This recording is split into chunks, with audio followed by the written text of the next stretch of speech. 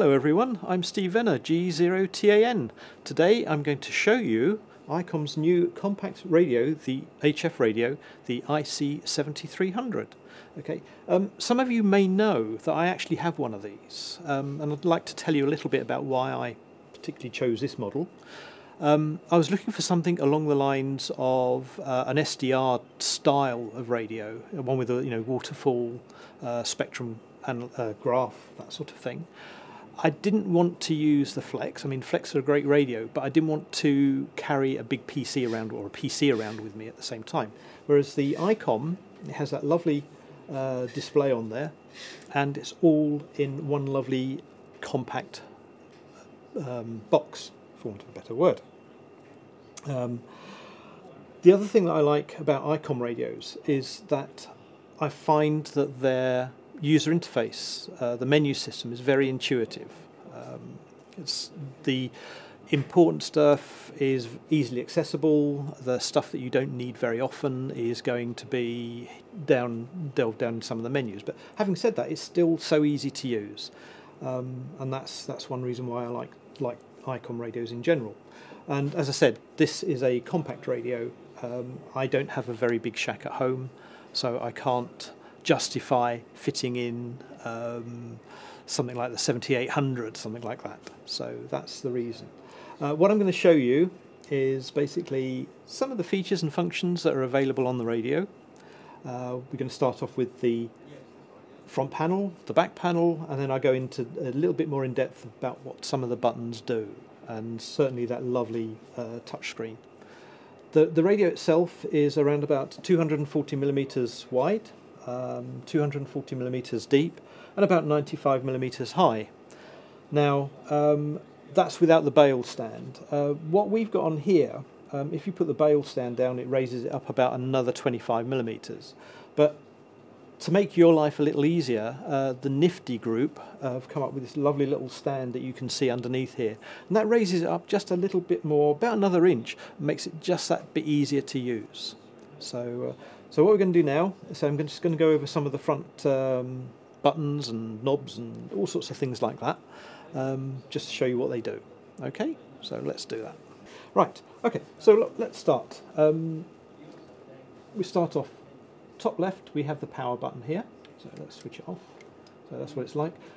What I'm going to do, and I recommend you do this when if you get, if you get one of these radios. In fact, any radio that you get, whether it's ICOM, Kenwood, Yaesu, or whoever, when a radio comes from the factory, it's got certain settings. Um, they may or may not have uh, reset the radio. So it's always a good idea to go right from the uh, factory default setting. And on here, it's very easy to do. I'm just going to press the menu button. I'll show you how to do all this a little bit later on. But you can go to Set. Uh, you should see down here Others. Uh, there's a Reset button. All Reset. Uh, do Next. And then Yes. Right, so it says All Reset. So this will start right from the very beginning. And as you can see there, it always comes up on 14.1 megahertz, USB uh, mode, and it's very simple. You don't at this moment in time actually have a frequency display. We can go uh, talk about that in a little while. So, what we're going to do is, uh, say that was a power button. Uh, transmit button is will actually put out a carrier or put the radio into transmit. So if you don't have a PTT switch uh, on your microphone, whichever mic you might be ha having, you can switch it into transmit mode by just by pressing pressing that. Um, you've got the tuner button to activate the internal tuner. You have the Vox stroke break-in button for, again, if you're using a voice-operated microphone or if you're using the, the Kia Morse, Morse key. Below that you have the 3.5mm stereo headphone jack and then we have the normal ICOM 8-pin round microphone adapter. Next we have the twin passband tuning. If I give that a little tweak there you can see the settings momentarily appear on the display. So you've got the upper and lower frequencies as you can see there hopefully if I get that set back right, uh, almost. Okay, we'll worry about that later. Um, then you have the uh, preamp setting, it's set to preamp 1. If you press and hold it, it goes to the attenuator. So press it again, and if you a light press will take you to preamp 2. One more press takes the preamps off altogether. Okay. Then you have the notch filter. The notch, again, it comes up with AN to begin with, which is the automatic notch. Um, if you press it again, you can have the manual notch. It's set currently set to wide. You turn it off. If you press and hold it, you can see the um, options that you are available to you for the manual notch come up on the display. I'll talk a bit, little bit more about that as we go through the rest of the buttons in more detail. But just to summarize, or not summarize, but just to go through these quickly, you have the noise blanker, you have the um, noise reduction, which I'll uh, show you how that works a little bit later. Uh, volume control. Okay, and then below that you have the normal ICOM, uh, both the RF gain and squelch control. So you can see how that works, and you can turn the RF gain up and down as you wish. So we'll leave it there. Now below this we have the ST, SD card socket. Um, the SD cards the, the standard size SD card is up to 2 gigs. If you put the high density SD card in, you can get up to about a 32 gig card in there. Okay. So moving on, we have the nice 4.3 inch uh, color touchscreen display. Okay, um, along the bottom we have various function, uh, physical function buttons. There's a lot of buttons that might appear on the display depending on what mode you're in, um, but we talk about those later. Okay, so then what we have is the multi-function knob. As I say, at the moment we've got it still in the notch position and you can adjust that to manually adjust your notch, uh, notch, notch, that's better. Uh, we get rid of that. Depending on what mode you're in, uh, at the moment we're in USB, um, so we can control things like the RF power, mic gain, compression and monitor. Okay, so let's get rid of that. Um, below that you've got your transmit frequency um, what's the word I'm looking for? To, to so if you're working split mode, you can actually monitor your transmit frequency, see see what's uh, actually going on there. Uh, little TXRX indicator. You've got this auto tune button. This is something um, that I discovered actually last night. Would you believe? I, I didn't know what it did. I, have not actually read the manual for this yet. Uh, I find ICOM radio is very easy to use, so there's no need for doing that. Um, so what we're going to be doing is probably a little bit of a, a tour of dis discovery, voyage of discovery, if you like. Okay, so, so might find some new things out that I didn't know existed. Um, at the bottom we have a speech button, um, which actually speak, speaks the uh, frequency and mode for you. And if you press and hold it, you've got the lock.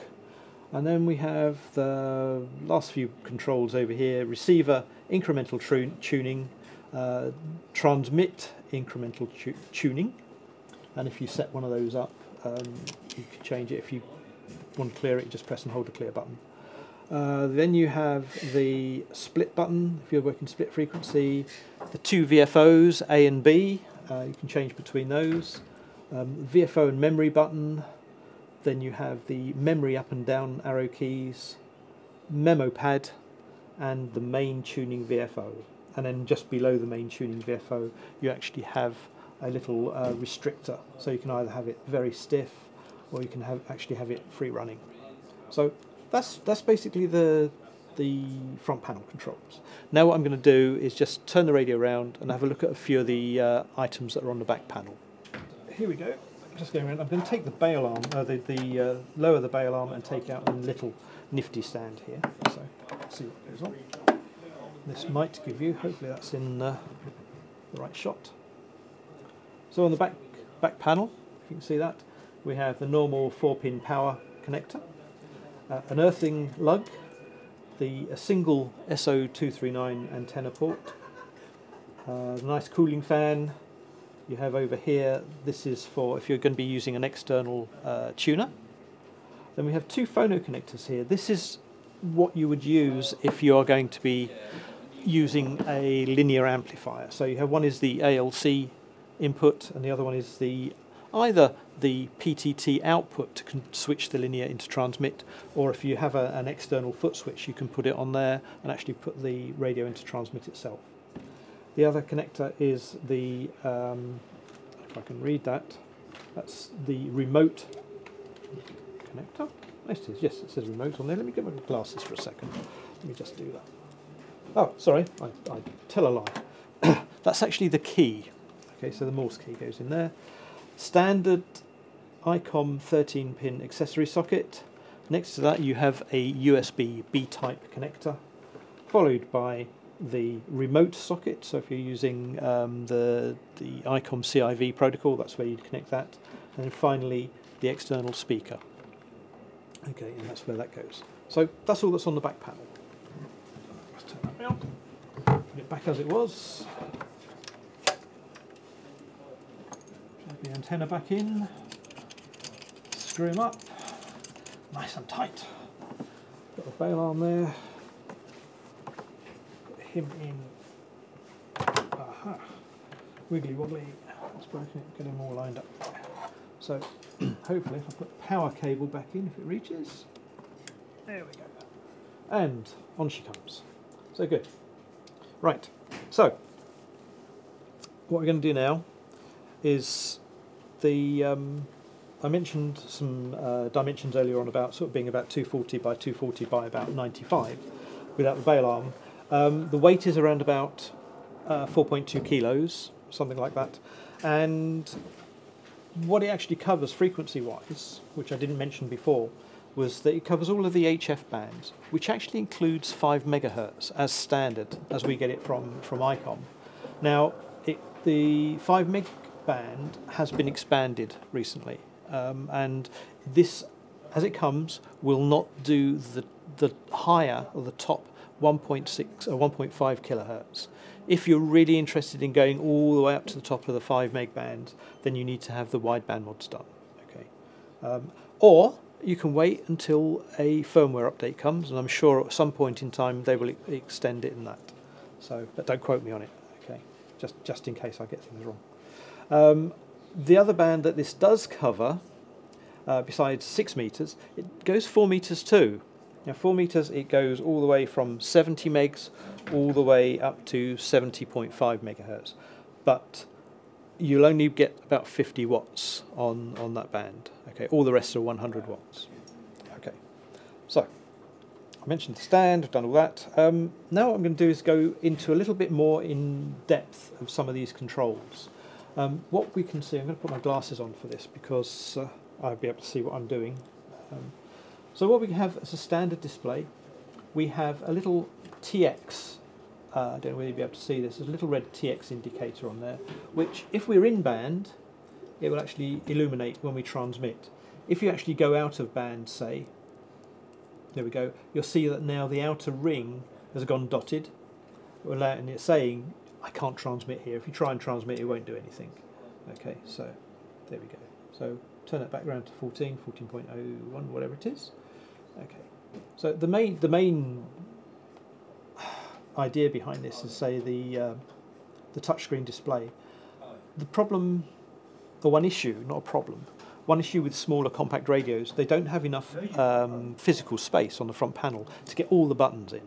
Uh, you can't get all the mode buttons in, you can't get all the band buttons in, things like that. Otherwise, the radio will sort of start growing and growing.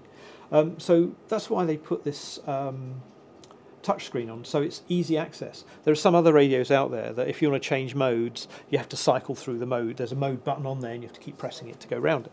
And same with the band buttons, you have to get, cycle up and down through the bands. Well, the way this, this does it, um, say with the, uh, the touchscreen, if you just touch the, the mode button, it gives you all the options, you know, sideband, CW, RTTY, AM, FM and data, data modes. And when you select whichever one you want. Ah, there you go, CW. We're now in CW mode. So we go back to sideband, back to sideband. Brilliant. Um, if you want to change frequency, common, you just touch the main megahertz part, and then it gives you all of the um, the, the main ham bands that you that you have that, are available. Now it doesn't show you on there uh, the um, either the 5 megs or the 70 megs because they're not globally um, utilized bands. So if you want to use those bands, what you have to do is use the frequency input button and then just type in 5, enter, and now you're going to 5, five megs. Uh, at the moment we're dotted, so you actually have to tune into the appropriate part of the band, and then you'll see the, the TX light illuminate. Okay, so let's go back to, um, let's try try 70 meg. So again, frequency input, 70, enter. 70 megs. Okay, you can store these in memory if you want to, um, so for later recall.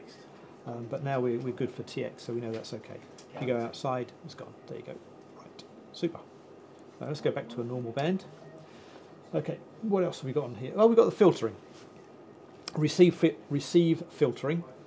Okay, if you touch the filter button, let's try it from this side. We go there. So at the moment, um, it comes up briefly, and you can see the bandwidth is 3 kilohertz for filter 1, it's 2.2 kilohertz for filter 2, filter 3 is 1.8 kilohertz. Now if you want to change those, you just press and hold it, and then you get all of the filtering menu just pop up like that. It's brilliant. Okay, so you can change if you want to. You can see here I can change the actual upper bandwidth, the lower bandwidth.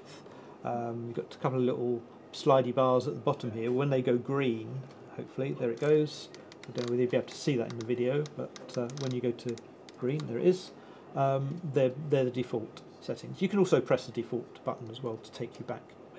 Um, so there's the bandwidth. Again, you can uh, change the bandwidth by adjusting the main uh, VFO knob. Okay.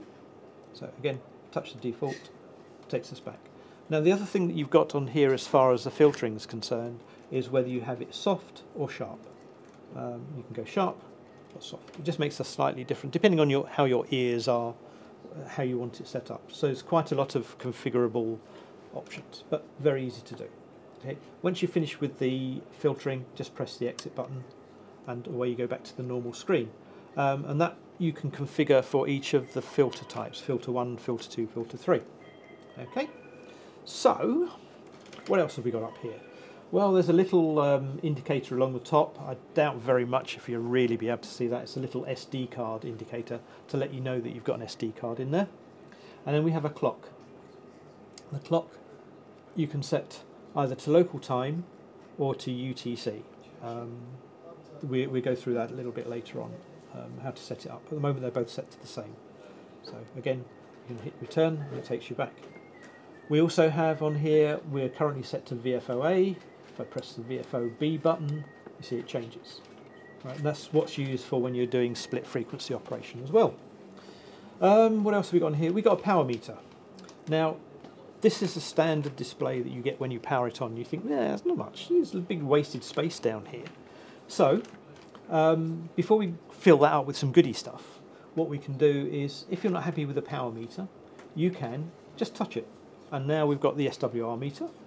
We touch it again, we've got the ALC, we've got the compression settings, we've got the drain voltage, we've got the drain current, and then back round to the power again. You can set it to what you want, one way of doing that so you get all three is if you go into the menu and you go meter, now you've got them all there, all nicely set up for you. So you've got the power output, ALC, compression, SWR, ID, VD, and also temperature. Okay, so that's, that's what you got from there. And you can exit from that, take you back to the standard menu. The other thing that we have on the display is the RIT, which we have up here. And again, if you change that using the multi-function knob, that will uh, adjust that as necessary. So, but as I said at the beginning, one of the reasons that I bought this radio is because I wanted something with a uh, spectrum display. And to get that on, you basically press the menu button. You can do a quick menu. Oops, sorry, no, not that. Um, M-scope, there we go. Um, but again, you've got a lower frequency readout and a very small uh, spectrum display. So, to make it bigger, what I'd recommend is press that and press scope. But now you've got slightly bigger frequency display. You have the small one, but if you press the soft button on the screen, now you've got the nice big waterfall display and the frequency spectrum. Okay, so let's carry on with that. You've got a whole bunch of information on here. It might be a little bit overwhelming, but uh, just just play with it. You, will get used to it. It's actually quite quite straightforward, quite uh, quite. Um, oh, we've got some data modes going on there by the look of things. Okay, there are two modes um, for the spectrum display. You have basically the center mode, which is where in the center of the screen, vertical, where that vertical bar is, that is the frequency readout that you're going to be tuning to. And as you can see, as I tune, the whole of the frequency shifts backwards and forwards. Okay, so that's that's that one. Um, with that, you can change the span. We're currently at plus and minus 20 kilohertz. We can do that plus or minus 40 kilohertz, plus or minus 80. You can, I think you can go all the way up to. Oh, oh no, no, it goes up to all the way up to plus or minus 400 kilohertz, which is quite a quite a spectrum. It's quite sweet. Um, I don't like it too wide because things get to get start getting a little bit too too difficult to see. So you can also hold it, and then you you'll have a, a green cursor that will actually move along to where you uh, where your frequency is. Okay. So take it off hold. You have another option. Uh, you've got a reference frequency, which is the amount of noise. We're currently set at 0 dB. You can change that so the noise gets bigger, higher, uh, the grass gets higher, the screen becomes brighter. Or you can take it down to, I usually run it about minus two and a half, something like that. It's quite nice. You get a nice deeper blue background and then the signal strike quite strong. A nice CW signal there that we'll uh, play about with in a minute. So we can exit from that. Um, you can change the speed of the waterfall. You can have it going quite fast as it is at the moment, which is what I like. Uh, yeah, we've still got some noise going on there. Um, you can change it to, to mid, which is a little bit slower, or you would have it slow. Okay, and then the markers, you have two markers on here. One will only come up when you're in what we call um, fixed mode. Uh, the other one is the T marker, which is your transmit frequency when you are in split mode. I'll explain a little bit more about that later. So let's go back to speed, it's fast, and turn the marker off, so we don't do that. And I've already print, uh, pressed that. Now, on this soft button here, we've got the expand, or EXPD, which takes it to a little one or a big one. But if you press and hold it, all these sort of things, there's a whole bunch of stuff that you might want to set up. You can change the colours, uh, the type of display. When you zoom into a particular frequency, um, by default, your frequency marker is in the center of the uh, audio passband. Um, you'll see a lot of um, like SDRs or even WebSDR where the the actual readout frequency is to the left. So basically, your your absolute frequency is there or there. You see it, and if you're an upper sideband, you'll see all the mush and the noise and the audio on one side of it. So, so you, you can set all this stuff up on here. You can set the waveform colours. Um, there's all sorts of stuff. The uh, waterfall display, the speed again. Um, let me just go back one here. Now I said about at the moment we're actually in centre mode. If I go back to that one and say put it into fixed mode, you've now got it goes from on 20 meters it goes from all the way from 14 megs all the way to 14.35. And then what you do is it's like an old style radio where you have the old uh, cursor moving backwards and forwards. So you can actually see that takes up the whole of the spectrum. Um, I've got something going on there, I believe. We'll listen to that in a minute. Oh yeah, there we go. Um, well, that's fine, but you know, you might have some audio stuff, uh, some stations working up here. You might want to zoom in a little bit. Well, you can press the soft button that says Edge. Okay, and then you can get it, say, maybe just in the CW part of the band. If you press Edge again, you might get just in the SSB part of the band. Now, those band edges you can actually change. Okay, so if I again go back here and scroll down, you'll see fixed edges. So if you want to say we're in 14 megs, we go to the 11 to 15 megs, and you can see there they're currently set to 14 point to 14.35, 14 to 14.1, and then 14.1 to 14.35. You can change all those. So if you wanted to say on the CW part of the band, you touch that, we say 14, enter, um, and then 14.05. Okay, enter. So now we've got a small part of the band, and it'll actually zoom in on that. So it's very, very configurable. Uh, it's, it's a load of fun playing with it. I say it's a it's a voyage of discovery every time I use this. So let's get out of that. So what else have we got here? we've done the filters, we've done the time. Um, again, you've got the smaller S, uh, signal strength meter. Again, you can just touch it to get whatever you want. Very good. Uh, compression, VDD. Let's go back to power output.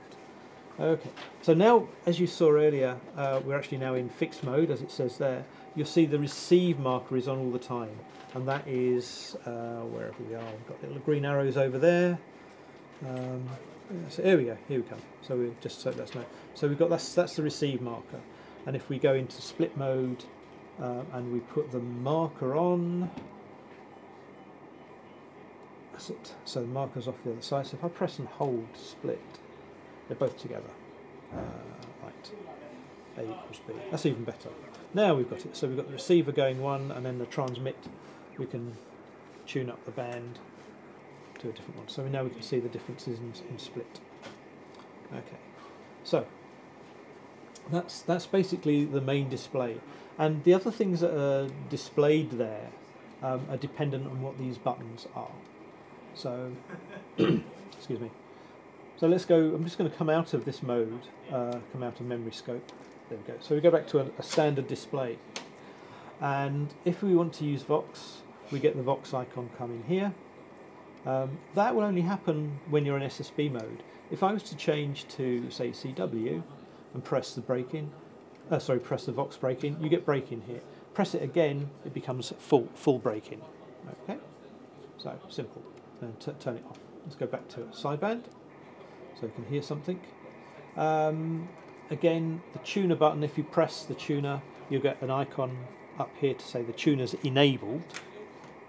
Um, if I press and hold it, I get it right, we start it off. But if the tune icon icon stays on, it means that the internal tuner has successfully matched the uh, your antenna. So that's good. If it goes off, um, no, it hasn't found a match. Now there's a little feature with the ICOM radio, uh, the 7300, that uh, I'll tell you about in a little while, which will maybe get around that to a degree. So there's a, there's a little caveat which I'll explain. Okay, so um, that was the tuner button, done the Vox break-in. Um, what else have we got on here? Let's say take the tuner off for a second because uh, it's quite a good antenna. Uh, preamp, preamp 1, preamp 2, no preamps, um, and if you press and hold it you get the attenuator. Okay. They're all fixed sizes. The notch I've already mentioned, noise blanker, got that one there, we've got manual notch on actually, I'll turn that off for a second. Noise blanker. Now I like the noise blanker on this, it's actually quite good. Um, uh, sorry, not noise blanker, noise reduction. Noise blanker is for pulse noises, so if you've got ignition type interference, um, that will take that out for you. But again, with all of these, if you press and hold the buttons, you'll see it produces a menu for you that you can adjust. The level on this on this one set to 50% by default. Um, you can change the depth, you just touch that, uh, set by 8, and the width, again, so 50% is about right. There you go, all done. Um, once you've set that up, ah, forget about it. The noise reduction, I don't you heard that, let's take the noise blanker off. Um, let's see if we can hear that. If I turn the noise reduction off, it's, it's on at the moment, you can see the noise comes straight up. And again, if you press and hold that, you can set the level with the multi-channel, multi-control. You can turn it right up. Now, me personally, I don't like too much of noise reduction. The problem is, it doesn't matter what rig it is. I find you put too much noise reduction on, it's starts ringing. You get this as an artifact, and it's, it makes my ears hurt, especially um, contesting situations where I'm listening with a pair of headphones. It's not for me. It's not good. Okay, so I tend to leave this at the default setting at four. So let's go go back to that. So there's a standard display. Turn the noise reduction off. Oh, that's loud. Okay. So what do we have over here then? Um, the AF is a volume control, as you've just heard. I've already played about with the squelch and the RF gain. If you turn the RF gain down too much, um, it's a little indicator comes on the display to say you've got RF gain turned down. Okay, brilliant.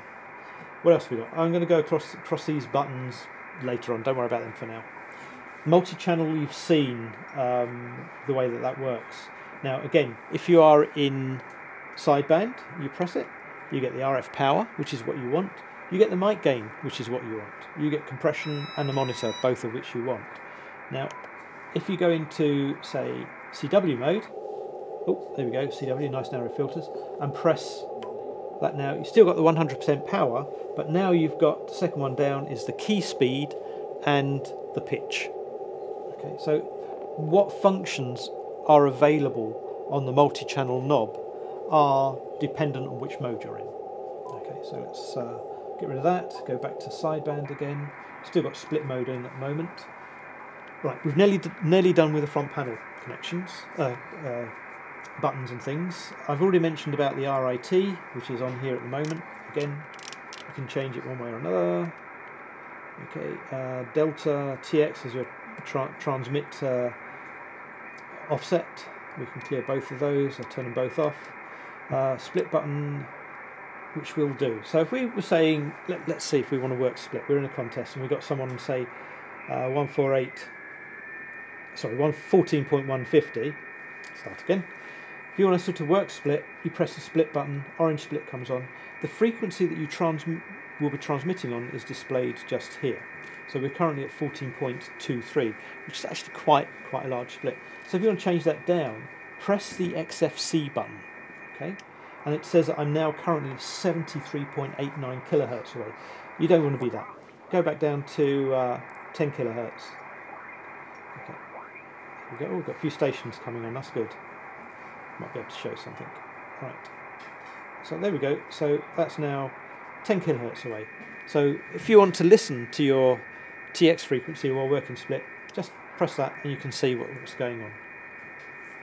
The other two buttons over here are the memory up and down buttons. I'm not going to bother to go too much details of that. The memory uh, systems on most radios are there, there's all sorts of memories. Uh, you can have quick bank memories, um, priority memories, and things like that. It's just a little bit too much of a too much to go into in a, a simple video like this. So, what I will uh, say is this um, the auto tune button. So what I'm going to do is go into CW mode because it does at the moment it doesn't do anything. It just beeps at you. Okay, it doesn't do anything. But if we go into CW mode, there we go, and we find a nice CW. Let's try and find a stronger one if I can.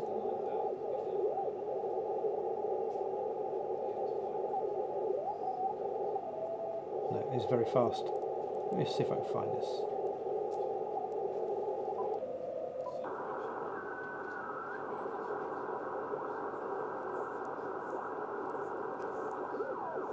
Would you believe it? There's none on. Oh, there we go. That's a bit slow. Right, so if you, are not sure where to tune to, press that oh, when he comes back on. Oh, there we go, he's gone now. Let's try. Oh, okay.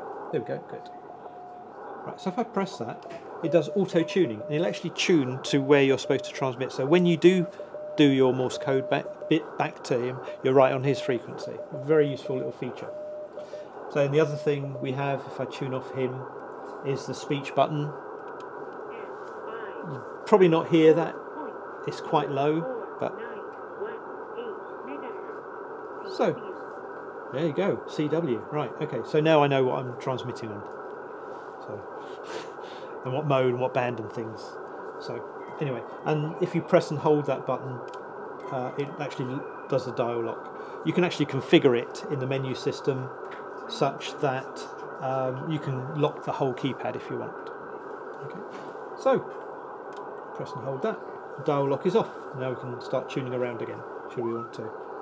Uh, let's go center mode. See what we can hear.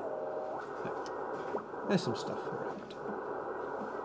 Okay, there we go. Marker, turn the markers off. So, that's it. So we've done, that's pretty much everything on the front panel now. Um, there's only a few little bits left to, to talk about, and they, these be the five physical buttons underneath. And a lot of these things, the menu system is a multi-layered thing. And again, as I said at the beginning, the more rare, the more how can I say it? The, the things that you want to adjust least are buried a little bit more lower in the menu system. The things that you want to adjust maybe on a minute to minute um, they're on a different button. But so you, you can go to, say, let, let's say you want to do the function. You get basically mm, 10 options there. Uh, you get preamp on and off, AGC, notch, noise blanker, noise reduction, IP. Uh, because we're in CW mode, we've got the option of turning the break-in on and off, although you can do it from the button over here. And there's all sorts of other things that you can set up relating to CW. Okay. Now, if we were go back to SSB mode, uh, let's go back to SSB mode, and we go back into that same thing. We've now got Vox, we've got compression, and we've got monitor and your transmit bandwidth. So these are the, the sorts of different things. There's a dynamic memory uh, menu system, for want of a better word, depending on what mode you're in. So let's go, then let's start at the beginning. Um, let's do the menu system. Okay. Now, we have one up here. The first one is the scope. That's what we've been showing you most of the time. The main scope in the expanded mode, not the little bit mode. Um, so that's that's all you get on that button. So one other option you have is to change to audio. So you can actually look at the audio spectrum and in real time if I change the level you can actually see it. Let's see if I can hear anything on there. So the AGC coming up there. Now, there were some stations there earlier on. They, the band seems to have died again on us. That's a shame. Um, you can set the level. Again, you can hold it so it doesn't uh, do anything. Uh, you can play about with the attenuator if you want to. It tells you that the attenuators come on. Um, and then you can get the time here that's very, very fast or sort of slow it down, slow it down once more, nice and slow. So that's quite fun. Having a nice little oscilloscope on, on the display. So, what other things? Right, so the voice. because we're in SSB mode. Okay, touch that. You can, it's got a voice recorder built into it. You've got up to eight channels to record your voice. Um, if I had a microphone, I could sort of demonstrate that to you, but it's basically you can record or set. Um, if you set, you can say auto monitor on and the repeat time. So if you record a message, so if you're in a contest environment, for instance, you can say hello CQ, hello CQ, this is Golf Zero, Tango Alpha November calling CQ, blah blah blah. You do that and you can save it and then you can repeat it every so often until you hear someone come back to you. So there's all sorts of fun things that you can do there. There's a TX level which we spoke about, so you can set the audio level of your TX uh. Okay, and they're, they're the various messages. So if I'd set one up, we would have been sending that out now. So T2, T3. Okay, so exit out of that. Uh, let's do that. Um, the meter I've already mentioned to you, you get the full scale of meter on there. Now this, this, this next little thing is an SWR. My ICOM 7000 has the same feature, and I, I really like it. Is this has a an inbuilt SWR pl uh, plotter, if you like. So on, say on 20 meters where we're at the moment, we can set the step size and the bar graph size. We can set it up to say 30. Uh, let's do 13 bar graphs all the way along there. If you set it going, it'll actually measure the SWR of the antenna and it'll do it every time you key up. So you can actually see our antenna is fairly well tuned here. Okay, you can see that going along. In fact, it's pretty good all the way along. And I don't have the tuner in at the moment, so one more. That's it. So we, we're finished now.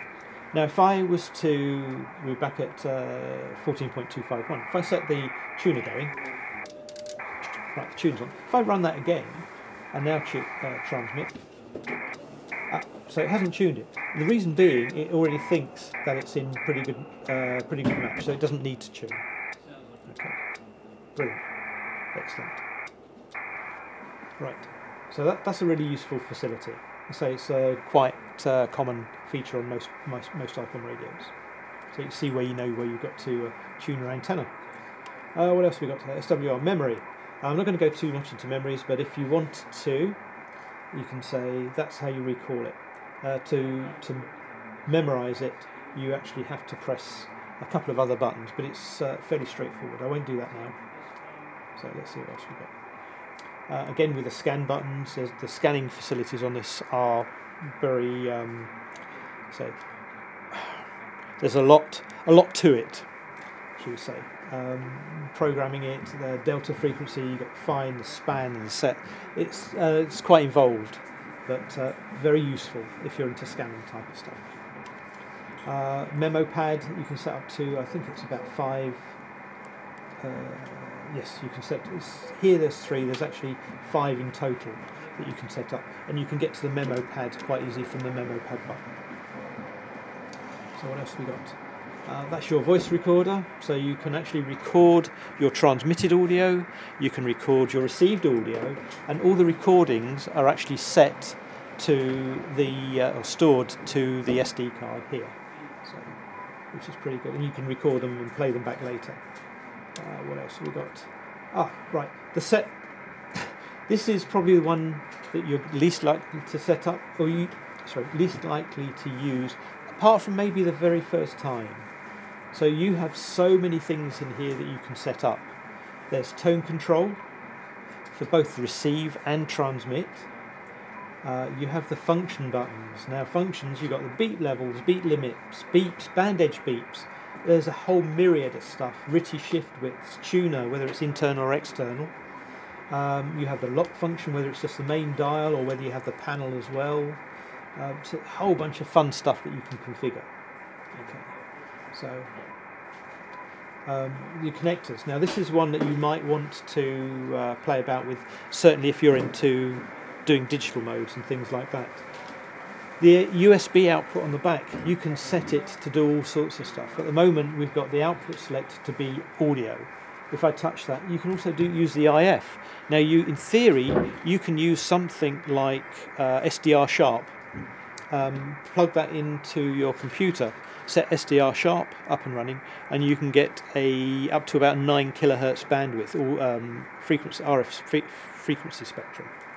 Okay, so all sorts of fun things like that. Very very configurable. So what else have we got on there? Data modes, uh, oh CIV ports, serial functions. There's a whole bunch of stuff in there. Really really useful stuff. Um, the display itself, you can change the backlighting, the display type, the font, See, this is all the sort of stuff that you very rarely need to use. So don't be frightened of going in there and playing about with it. Um, you know, if you if you sort of get somewhere you get stuck, um, that's where we're going to send our time, uh, our set our time, our clock, the SD card, uh, whether you want to format it, save your settings, load settings, things like that.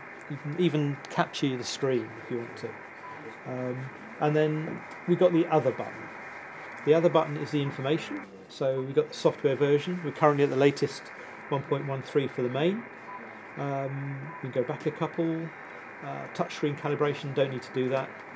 The one that you might get uh, involved with is the reset. If you've got the radio set into a particular strange mode, you don't know where you've gone. First thing to do, just do a just do a reset. Okay, and then um, we do that there. We do all reset. Next, just go. It just wants to confirm that you're going to be doing. Uh, that and away we go. We go right back to the very beginning again. So 14.1 megs SSB. Okay, let's get the uh, display up and running because we like that. Go into menu, set, and we come down here and we said others. I mentioned earlier on that the internal tuner only uh, works up to about 3 to 1 SWR. Or at least I think I did. Uh, if I didn't, I should have done. Um, there is an emergency mode for the tuner. Right, so it basically expands the matching ratio. They don't say, ICOM don't say what it will actually match to. So if you've got an antenna which has, say, maybe a 5 to 1 SWR, um, you can put it into this mode and it will um, match that antenna for you. Um, but on the caveat that it reduces the power to about 50 watts, no more than that. And they don't recommend you use it for long periods of time what we don't want you to do is blow up the nice PA transistors and things like that. So if you have to use it, do it. Otherwise, I, I found the ATU matches up to probably up to about three and a half, four to one uh, on some bands. So anyway. I'm going to cancel that because I have to reset the radio again. So what else have we got on here? Well, that's basically it for that. I've done the function button. Um, there is one other on here. We've already done the mem- mem- uh, quick memory scope, memory scope, menu scope. Um, the quick button here is the other type. It's a quick menu they call it. And at the moment, um, maybe ICOM will come out and do some other additions on here.